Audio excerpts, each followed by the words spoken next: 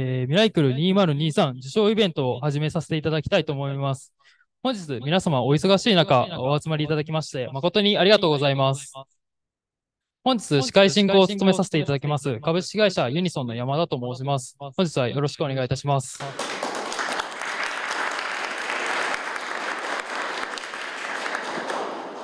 受賞者の皆様におかれましては、結果のご報告から、えー、イベントの日程がかなりタイトなスケジュールとなってしまい、えー、その中でも日程調整していただきましてありがとうございました。また、えっと、お忙しいところ各種ヒアリングのご回答の等もいただきましてありがとうございました。本日はどうぞよろしくお願いします。では、えー、まず最初にですね、えっと、ミライクルとはそもそも何なのかっていうところが多分皆様はわからないかなと思いますので、えー、改めてこのミライクルについてご説明させていただければなと思います。で、えっと、今期からですね、えー、イベント名をフォトコンテストから、えー、ミライクルへと書いております。で、こちら、えっと、全く別のイベントにしたわけではなくてですね、今までのフォトコンテストっていうのの、えー、いい部分をですね、踏襲しながらですね、写真だけの評価ではなくて、えー、その作品に含まれているストーリーであったりとか、コンセプトっていうところも、えー、さらに知ることによってですね、作品をより深く知ることができるってことを過去のフォトコンテストからも感じ取っていました。え、ただですね、一般的なフォトコンテストというのは、えー、写真や、え、商品だけを、商品の見栄えを評価するイベントというイメージがあることからですね、このイベント名を変えることで、作品のストーリーやコンセプトを集める、集めて広げていくイベントとして、えイベント名を、形を変えさせていただきました。で、えー、ミライクルとは、えー、こちらにも書いてあります。未来を、えー、未来プラス作る、えー、未来を作るという意味と、未来プラスサイクル、えー、未来を循環させるという意味合いと、えー、ミライクル、えー、ライクという言葉に、が見るで挟まっているような形で、えー、ライクを見る、見つけるイベントとして、えー、このイベントは、えー、参加する方々と一緒に未来を作り、より良い未来へと循環させるための、ライクを見る、見つけるイベントとして、イベント名を変えさせていただきました。で、えー、ミライクルの部門についてですけども、えー、昨年、えー、昨年までは、戸建てであったりとか、集合、街並みという形で、エリアごとでこう分けていた、分けていたんですけども、今年はそちらを開始しまして、合わせて、と、最優秀賞1作品を選出するということも、えー、今回なくしております。で作品ごとの、えーまあ、違ったストーリーであったりとか、えー、それぞれのいい作品っていうのを広めていきたいという考えから、こういう形をさせていただいています。で、今回ミライクルでは、えー、デザインアワードと、えー、クリエイティブコレクションの2部門に分けて、えー、分け、分けさせていただいております。で、本日は、えー、最終審査で選ばれましたデザインアワードのゴールド賞8作品の皆様に、えー、一緒に写真だけでなく、えー、作品の、えー、作品ごとのストーリーやコンセプトを、えー、様々なキーワードに沿って語り合えたらなと思っております。それでは、開会に先立ちまして、弊社代表取締役社長、浅岡よりご挨拶をさせていただきます。えー、皆さんおめでとうございます。えー、そうですね。一年経ちまして、去年のことを思い出すと、だいぶ今回のコンテスト自体のコンセプトを変えようということで、ずっと思ってました。実は3年前から、今までのような写真コンテストというものを変えていきたいなところに思っておりました。なぜならば、見てわかるものだけで物語が作れないな本当にあるコンセプトはもっと奥奥奥の方にある深く隠された、隠されたところまで掘り下げると、その掘り下げた宝物がきらめく、光り輝く、そして世の中を変えていく力になるんではないかな。だからビジュアル的なところよりも、もちろん掘り下げた思想や考え方、そういうことに焦点を当てた展示会やこういう発表会をしたいなということで、3年かかりましたけど、なんとか今年起点を変えてスタートすることができましたことを非常に嬉しく思っています。で、また、この半田の地まで来ていただいて、本当にありがとうございます。この半田床ダメっていう土地は昔から、えー、焼き物やる粘土の有料な粘土が出てきてます。で、明治維新後、建材として焼き物であれば、当然タイルや土管、そういったものを踏まえて都市を作るときの重要な建材となった起点でございます。そういうところで皆さんをお呼びして、これからのものづくりについて、また環境や住まい方について議論できたら最高だな、こんなふうに思いまして、この地を選ばせていただきました。まあ、とは、とは、そういうことの中で、今日は皆さんと交流トークセクションということで、話し合いによってもっと深めようということですので、えー、のびのびと発言をしていただける会にしていきたいと、このように思っています。で、本日のイベントも高山さんをお呼びしてますけど、これはですね、この地のレンガ作りのこの倉庫の中であるように、レンガっていうのは、当然明治維新、えー、なんていうの？耐久性の高い燃えない建材として、様々なところに使ってきたレンガも、最近はですね、非常に出荷量が減り、えー、燃料の原料もなかなかなくなってきてる。現在において、年賀建築のあり方も様々なように変えていかなくていけない時代に入った中で、そんなことを考えてたら、私たちはたくさんのレンガを売ってきましたけども、最近は出荷量が3分の1くらいかなっていくと、そこまで下がる状況です。これは仕方ないと思いながらも、つらつら歴史を持ってたら、ここの地で生まれたレンガが、世界に広がったレンガがある。久田さんっていう方が昔、大正時代に、フランク・ロイド・ライトの建物に黄色いレンガを作りたいってことで、たまたま作ってた黄色いレンガは、ここ、常滑の地にあるレンガ屋さんで作られたということが歴史上あります。そんな久田さん曰く、えー、彼は最後に言った言葉は、せっかく生まれたんだから、自分らしいものづくりをしよう。まさにこのコンセプトであった、今日は発表会であることを期待して、ご挨拶とさせていただきます。ありがとうございます。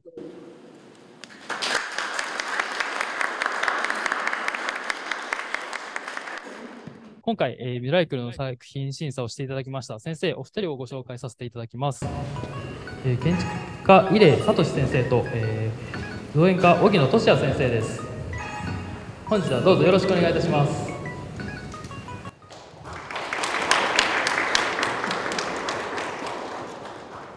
先生方と一緒に最終審査をしていただきました弊社代表取締役浅岡直人です。本日もよろしくお願いいたします、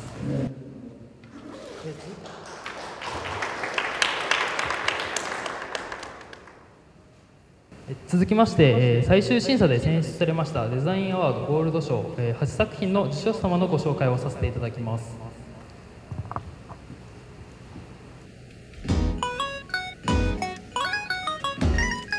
積水ハウス大阪南シャーメゾン支店斉藤 A 様。アトリエガーデン鈴木小川恵美子様。よろしくお願いします。吉原祐介様本日体調不良により欠席となっておりますそして会員木下圭介様。プラスガーデンイキルズ松井浩二様。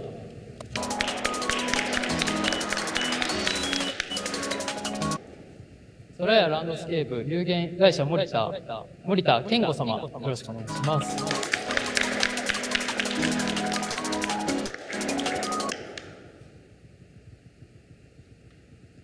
積水ハウス三河シャーメドン支店長谷川妙子様よろしくお願いします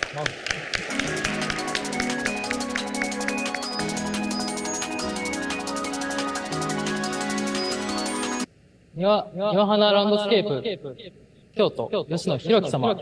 ろしくお願いします。株式会社第二スケッチ、田中俊光様、よろしくお願いします。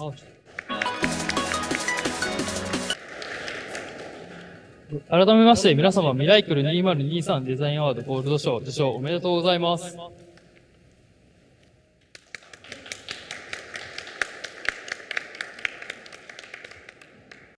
今回、ミライクルでは、えー、写真だけでなく、ストーリーやコンセプトを集めさせていただき、いたことにより、えー、住まう人の、人とのつながりを感じ、またさらに人にフォーカスを当てることで、えー、共感できることを感じさせていただきました。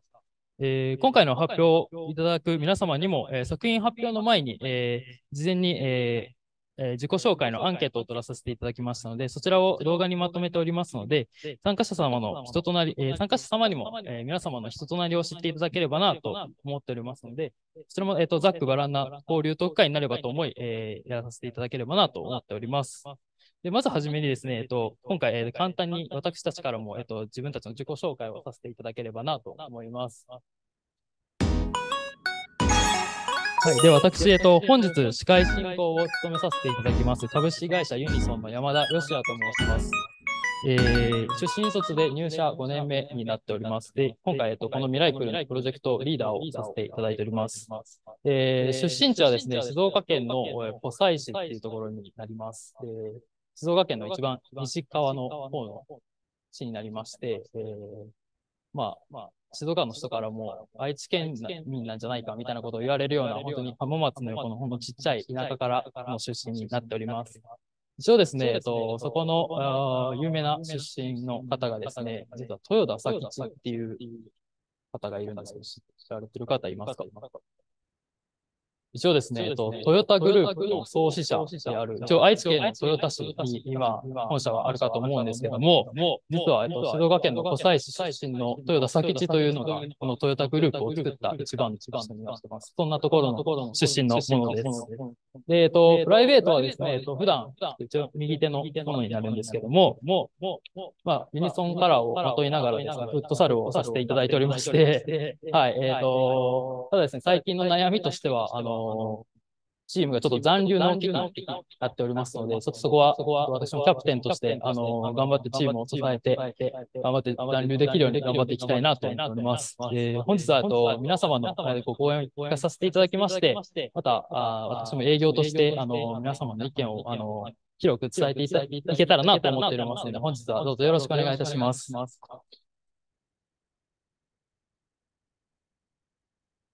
えー続きまして、えっと本日、交流会の、えーファシリテーターをお願いします。より、自己紹介していただきます。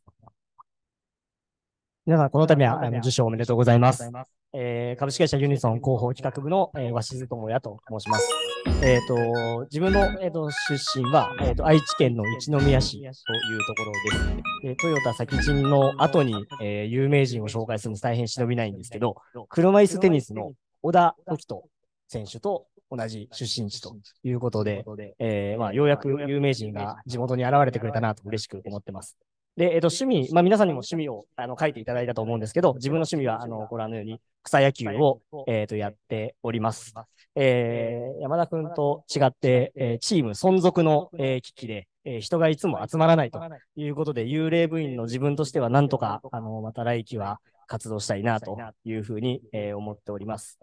で、えっ、と、最近のニュースっていうのも皆さんに書いていただきましたけど、自分の、えっとニュースとしては、今年のクリスマスはですね、えー息子と二人きりで、えー横浜を観光するということが決まりました。あの、奥さんが韓国俳優にハマってしまいまして、それのファンクラブミーティングに行きたいので、運転手として、えー行ってくれということで、えー横浜観光を、えーすることに、えーなりました。えー今回、あの、この後、高山さんと一緒に、まあ、今回特別講演という形なんですけど、高山さんからは、あの、こう、Q&A 形式のトークセッションにしようよというご提案をいただきましてですね、あの、大変恐れ多いんですけど、あの、僕と高山さん中心で、あの、トークをしながらですね、この後のトーク交流会の中でも、あの、皆さんと、えー一緒に、あの、いろいろと作品の深掘りを、あの、させていただければなと思っております。よろしくお願いいたします。えーそれでは、あの、早速ではありますけれども、えー今回、あの、ハンダーの、えー赤レンガ建物で、えー開催をするということで、えー高山敏子さんの方に、えー特別にちょっと、急に無理を言いましてですね、あの、来ていただきましたので、えー簡単に、あの、高山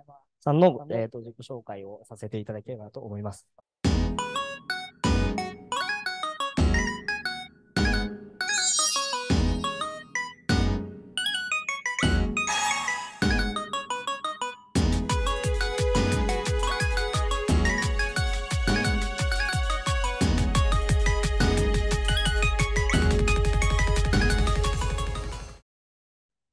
えっ、と、高山さんのご経歴の方をご紹介をさせていただきます。えー二代目である、えー父の彦八郎様と共に、えーホテル川急、えー洲本市市立図書館など、えー数々の歴史的レンガ建築に携わっておられます。えー三代目継承後も信濃町レンガ館、えー晴海トリトン再開発、えー函館中央図書館、えー明治学院大学記念館、レンガ保存工事など、えー現代建築から修復保存まで、えー数々のレンガ建築を手掛けておられます。えー2014年、より広く深い、えーレンガ匠としての活動を視野に、株式会社高山レンガ建築デザインを設立されました。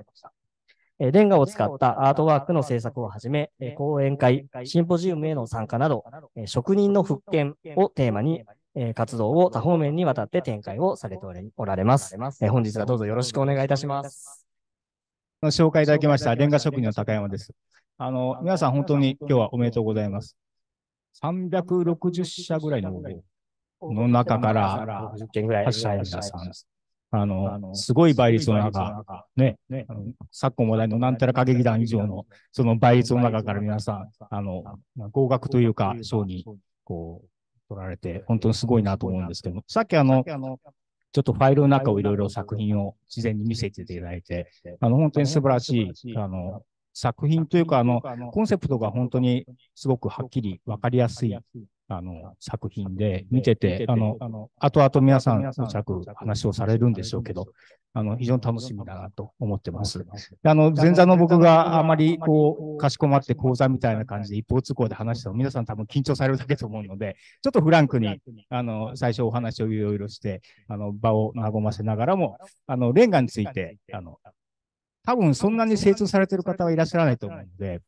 あの、ちょっとレアな話も含めながら、あの、お話を今日はさせていただければなと思っております。よろしくお願いします。一応、あの、高山さんのホームページであったりとか、あと、赤レンガ建物のホームページの方も、あの、見れるように、あの、準備しておりますので、もしご説明される際は、あの、今日、あの、こちらのスタッフが、あの、画面操作してますんで、はい、よろしくお願いいたします。で、えっと、早速なんですけど、あの、まあ、まずは、あの今回、レンガ職人ということで、まあ、なかなかさっきのレンガの馴染みというか、精通されている方が少ないっていうことだと思うんですけど、少しそのレンガの歴史っていうことについてお話しいただければなと思うんですけども、あの、レンガが日本に入った、あ日本というか、世界というか、地球上に、あの、現れたのは、約4000年前、メソポタミア文明の頃からって言われてるんですけども、で、あの、各文明が同時発生、多発発生で、まあ、レンガというものはこのように、えー派生されて、建築に使われ、町に使われ、橋に使われ。で、日本に流れ着いたのがまあ幕末の頃おだと言われています。で、えっ、と、それから、あの、あらゆる、施設にレンガって使われて、まあ今まで来ているんですけれども、例えばこの建物で言うと、あの、最初は、えっ、と、ビール工場として、あの、建築をされて、えー戦時中は、あの、多分見られてる方は見られてると思いますけど、妻川面に、あの、基地自動車の跡がついてる。あの中島飛行機でしたかね。あの飛行場の、あの、えー倉庫かなんか、軍事施設として使われた跡があって、で、その後コーンスターチかなんかの倉庫になって、まあ今がっていう、あの、流れがあるんですけれども、あの、多く今、現存しているうレンガの建築物っていうのは、大体あの、軍とに多いんですよね。その軍事施設とか、あの、戦時中に大事なものを守らなきゃいけないとか、あと、そういったあの、防火機能がレンガの建築物ってありますので、えっ、と、まあ、基準詳細打たれてもその壁がぶっ壊れないとか、あの、非常に防御性も強いっていう素材から、えっ、と、過去、こう軍都によく使われたっていう、あの、経緯があって、えー今も舞鶴とか、横須賀とか、文字とか、あの、いろんなそういう海洋に近いところにレンガの建物が使われてあります。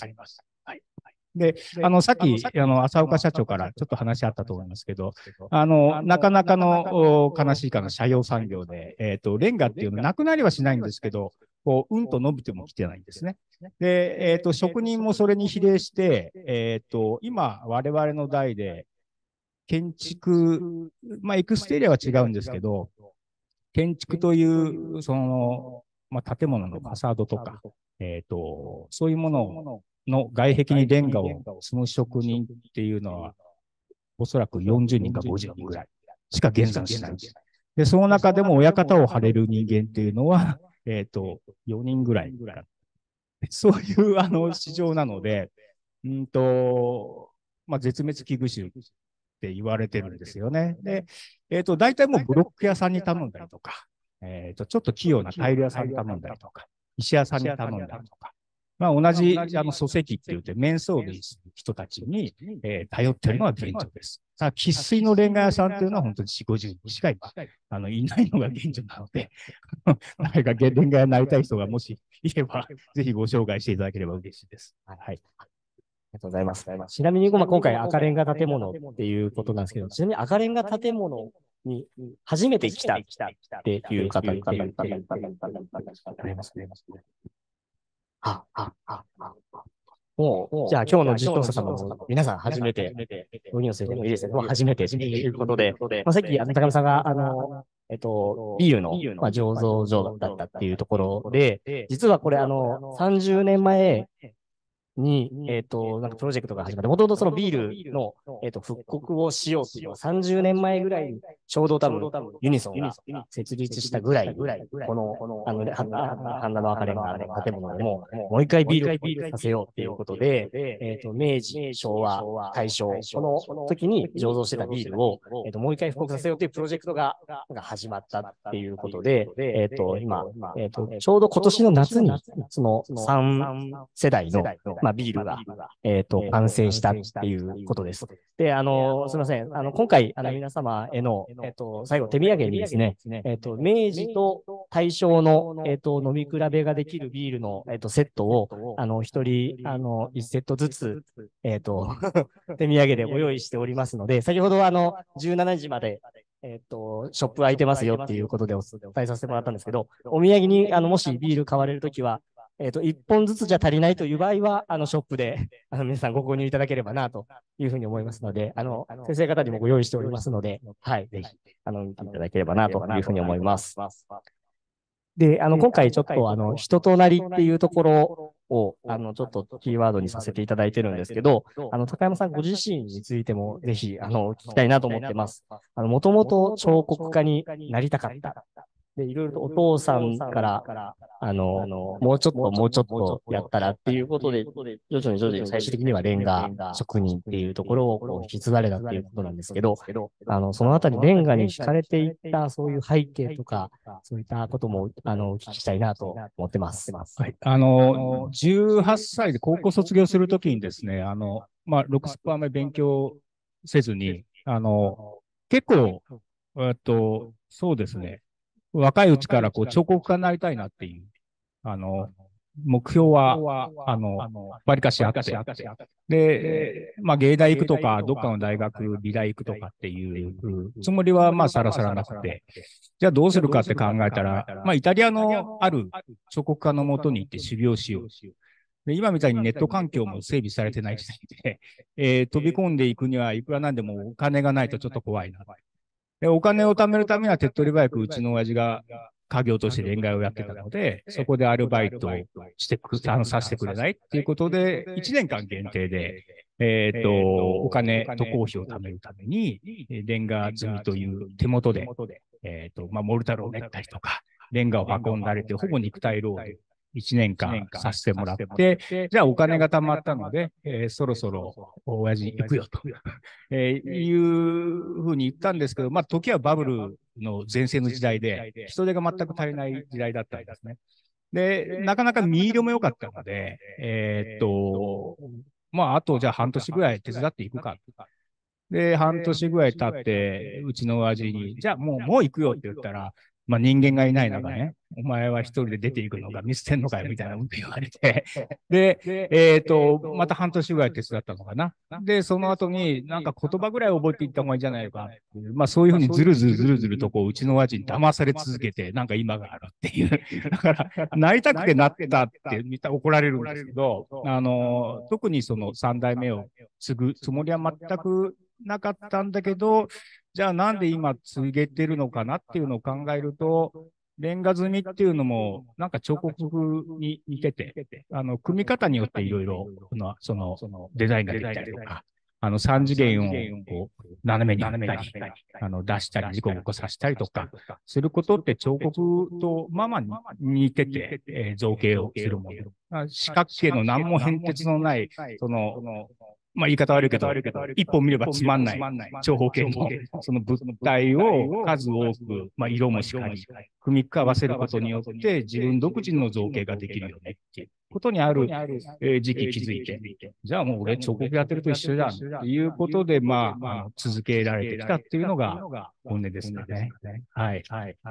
ありがとうございます。なんかそのあたりっていうのは、あの、まあ、ブロックとかレンガとかも、なんか組み合わせて、その空間を作っていく。で植栽とかっていうのも組み合わせて作っていくっていう、まあ皆さんがやられてるお仕事にも、こう通ずるところがあるのかなというふうに思うんですけど、なんかちょっとどっかのインタビューか何かで、あの、見たんですけど、あの、このレンガを建築、まあ、そう、設計、まあ、設計されてる方とか、設計の施工されてる方なので、少しそういった手法のところとか考え方のところも、あの、お聞きしたいなと思うんですけど、なんか、あの、アート的な要素、レンガのアートを作る要素っていうのはもちろん大事なんだけど、それを組んでいくにあたっては、まあ、数字的な要素っていうのも、えっ、と、大事になってくるっていうことをおっしゃってたんですけど、その辺でどういうふうにこう考えて、まあ、作って、当然、えっ、と、アート作、まあ、アート作品をお願いされる場合であるっていうのと、通常の建築にお願いされるっていうところっていうのは、あの、違う要素が違うと思うんですけど、のアートの想像の部分と、実際にこう、設計して組み立てていくっていうところっていうのは、結構そういったところを、まあ、皆さん、通常の業務の中、あの設計される中で、こう考えるところもあるのかなと思うんですけど、そういった考え方のところもぜひ聞きたいなと思ってます。はい。あの、そうですね。レンガ積みっていうのは、まあ、基本質質合憲な、あの、素材で、えっ、と、重力を味方につけて、あの、積んでいかなきゃいけないっていう、あの、まあ、石積みしかり、そうなんですね。で、あの、まあ、こういうふうにねじったり、うねったりとはしてるものの、やはりその構造的な、あの、ちゃんとしたこう裏付けがないと、このデザインは発生しなくてですね、えータイルにできてもレンガにできないデザインって実はたくさんあったりとかするんです。で重力を否定した段階にそのレンガ積みのデザインって崩れ去ってしまうので、まずはその数字ありきの中でこのデザインが出来上がってるっていうのが一つ大きな違いです。で、えっ、と、もう一つは、なんていうんですかね、考え方として、えっ、と、この建物とよく似てるあの、4、5年前ぐらいにあの、弘前のレンガ倉庫美術館っていうのを、あの、施工を携わらせてもらったんですけど、そこの建物は、えっ、と、やっぱり100年前ぐらいのレンガ像なんですけど、それあれですかね、ええ。あの、あの、ネットとかでなんか出あ出ます出ます。そしたら、ええなんかもう見ていただきながらあ、そうですね。はい。まあ、あの、この建物もそうですけど、レンガ建築、レンガ素材そのものっていうのは、まあ人間が故意的に壊したり破壊しない限りは、あの、僕たちより圧倒的に長生きする素材ですよね。で、あの、これの、えっ、と、弘前っていうところを見てもらえばいいですね。ずっと下で、はい。あの、ちょっと今、アルマジロみたいなアーチがありましたけど、もうちょっと上です。あ、それです、それです。それの中中央にある。はいはいはいはい。で、この建物は、この半田の、あの、赤レンガ建物とよく似てて、で、あの、ここの建物を保存改修をしてるんですよね、数年前に。で、えーっと、大体こういう地震にあまり強いとは言えないレンガ像を、あの、補強するときっていうのは、内側に RC を、あの、壁をもう一回作ったりとか、えー鉄骨の補強材を入れたりとかして、あの、剥き出しにして、ちょっと興ざめする場合が多いんですけど、まあ、ここしっかり、この弘前レンガ倉庫美術館しっかり、あの、バーベキューのように、このレンガの、こう、内部側に穴を開けてですね、えーまっすぐに、えっ、と、地面から、その一番頂部まで。で、その中に鉄筋、鉄筋、鉄棒のバカップとい鋼材を差し込んで、で、えーそれにプレスプレストレスって言って、あの、麻雀の台をこう挟むような、ちょっと握力、あの、圧力をつけて、それで補強して持たせてるんですね。だから、あの、鉄、鉄、鉄骨、鉄筋、鉄骨レンガ像みたいな感じに、あの、現代版に、あの、進化させて、この建築物っていうのは持ってるんです。あの、ここだけで、な何百本ぐらいかの鉄筋棒がもう、あの、上から下まで、あの、挟み込まれてるって言われてますけど、で、えっ、と、こういうレンガの建築物っっていうのは、あの、先ほど話したように我々より絶対長生きしますよと。で、えーっと、あと外壁をこの建物を見てもらうとわかるんですけど、あらゆるところにこの補修をした跡があ残ってるんですね。あの、傷んできてるレンガとかもいっぱいあったりとか、ひびが入ってるレンガとかもいっぱい出てきたりとかするので、そこを、まあ、何年おきか10年おきかあに、必ず補修っていうのをしてるんです。で、その補修跡っていうのは当たり前なんですけど、パッチワークのように、あの、どうしても残ってしまうんですね。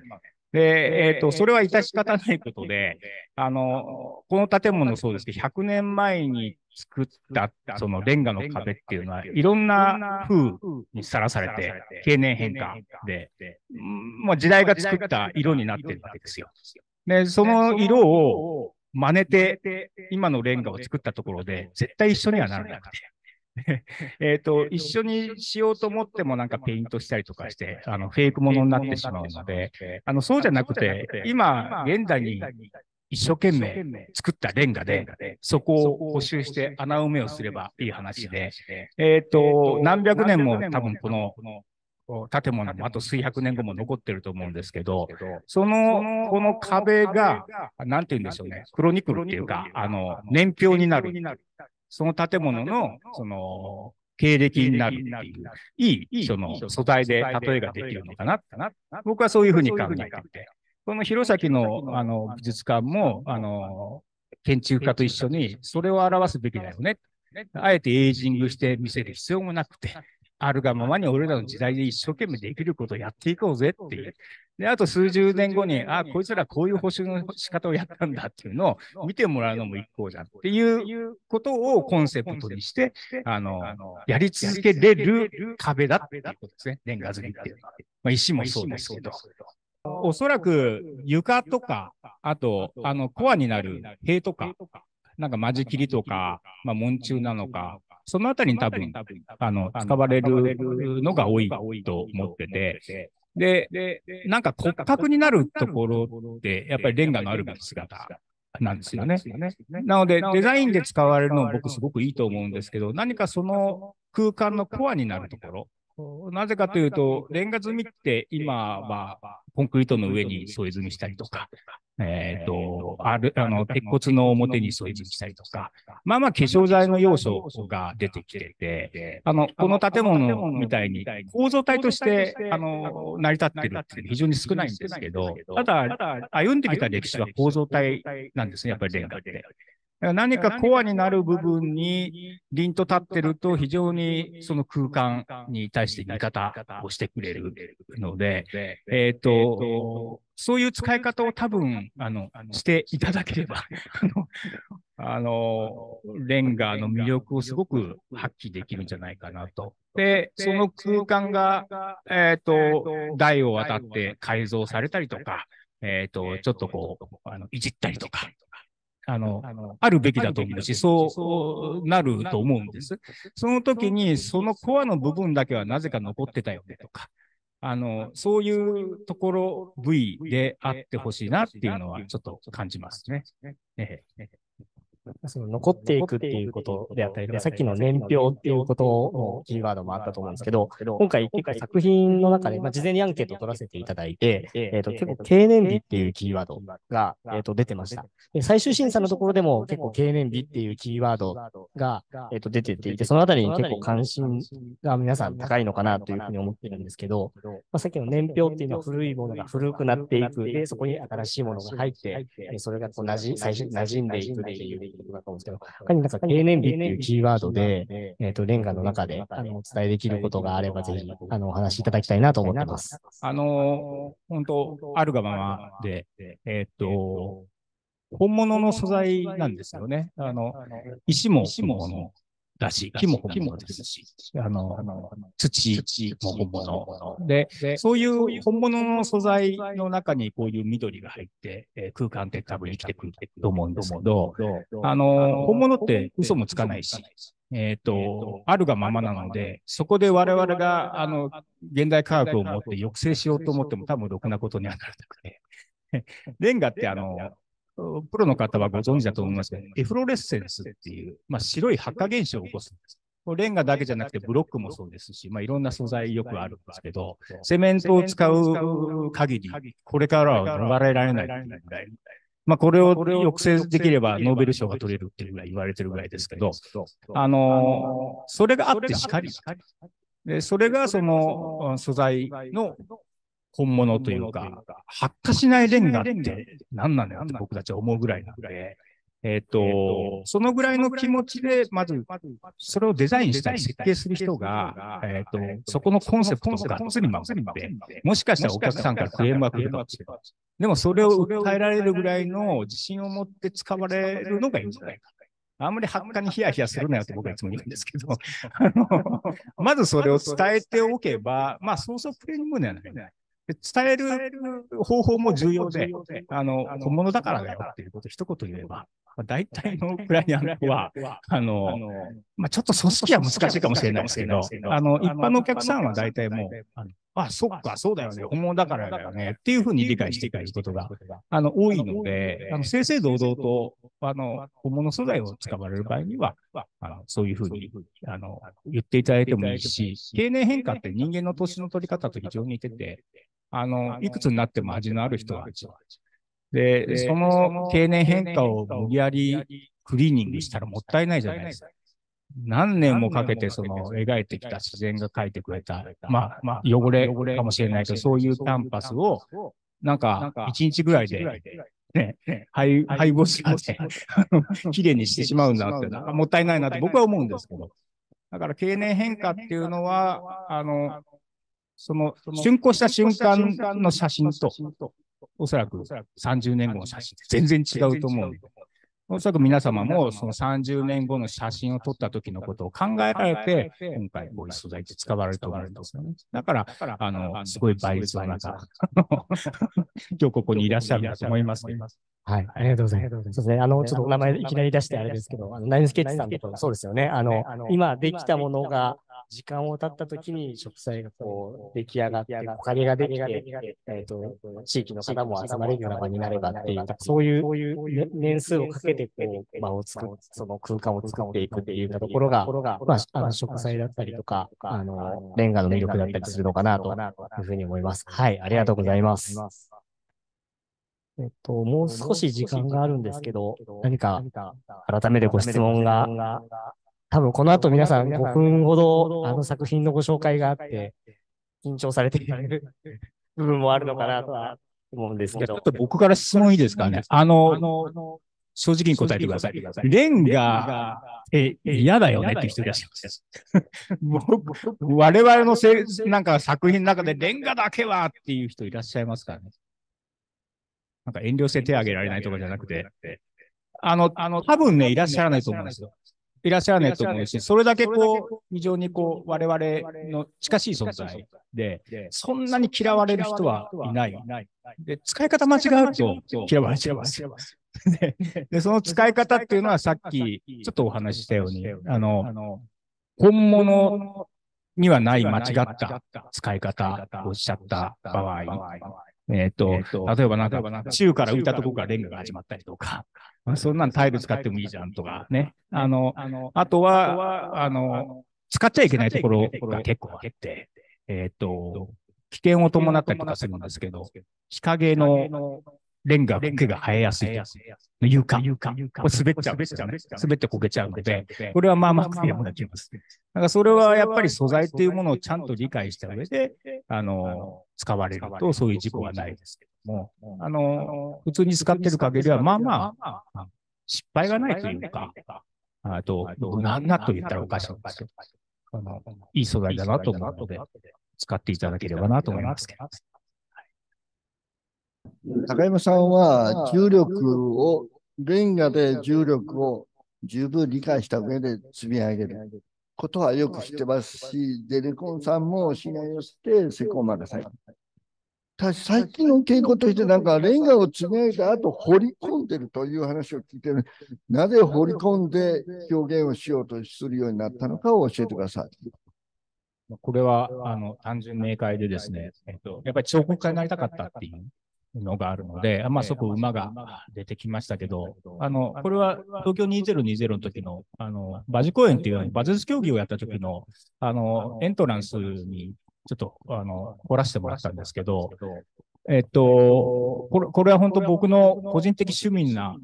あの趣味の思考でやった仕事です。ただし、あの、今、おかげさまで、こういったレンガになんか物を掘ってくれよっていうのが非常に多くなってきてて、えっ、ー、と、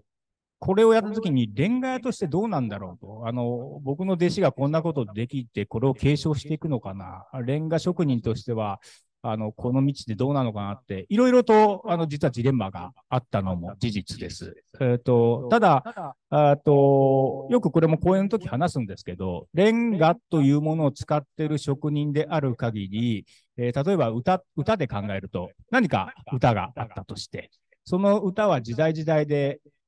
き勝手な歌い方をすればいいと思ってるんですね。例えば僕の時代ではロック調に歌う。で、次に継承する弟子たちが今度はバラード調に歌う。でもその歌は変わらない。レンガという歌は変わらない。だけど、その積み方表現っていうのは時代時代によって自由なんだ。で、その、えーと、自由を後から査定してくれるのは未来の彼らであって、え僕らではない。その、えーと、自由な表現をしない方が、僕は、えーと、未来に託すことを放棄してるんじゃないかっていう、まあ、偉そうな考えを実は 考えて、好き放題したらいいよねっていうことで、こういうのを今バンバン掘らせてもらってます。えっ、と、掘るのはいいんですけど、これってお値段どれぐらいご必要なんでしょうか？えっ、と、ちょっとそこは、あの、お答えは控えさせていただきますけれども、あの、例えばここの、あの、オリンピック関係はやっぱり名誉ある仕事だったので、えっ、と、ただとは言いませんが、非常に信じられないぐらいリーズナブルな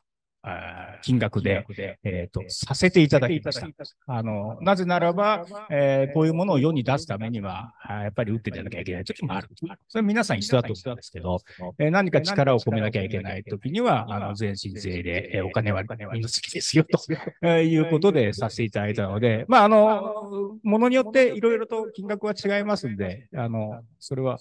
ご相談に応じます。はい。だから、高山さんとしては、志がある方からのオーダーは、その予算は合わせていただいて、税制、まあ、誠意を持って作り上げていただけると。おっしゃる通りです。はい。皆さん、よろしくお願いします。はい、すみません。ありがとうございます。えっ、ー、と、時間、ですね。はい。あの、すみません。30分っていうところで、すみません。あの、ちょっと拙い進行ではございましたけど、すみません。ちょっとむ、ほぼほぼ、ほぼ、あの、無茶ぶりでいろいろご質問させていただいたんですけども、あの、いろいろお話しさせていただいてありがとうございました。ありがとうございました。